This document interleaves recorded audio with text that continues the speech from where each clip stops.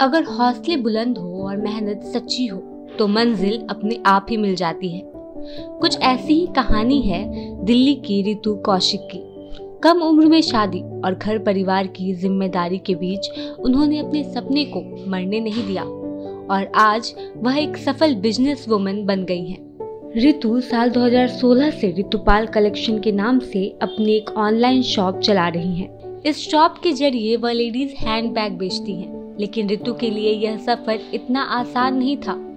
सिर्फ़ 16 साल की उम्र में उनकी शादी हो गई थी, जिस वजह से उनकी पढ़ाई अधूरी रह गई। लेकिन वह हमेशा से अपना ग्रेजुएशन पूरा करना चाहती थी। इसलिए शादी के 12 साल बाद उन्होंने फिर से पढ़ाई शुरू की। पढ़ाई के बाद रितु ने बिज़नेस करने का फैसला किया। उन्हें बचपन से ही हैंड बैग्स का काफ़ी शौक था।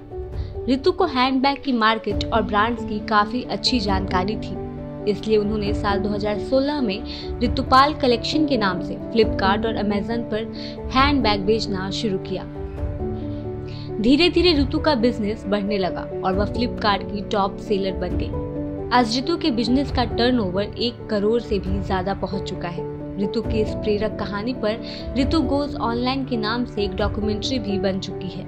अगर आप भी ऋतु के हैंडबैग्स खरीदना चाहते हैं तो ऋतुपाल कलेक्शन डॉट कॉम पर विज़िट कर सकते हैं।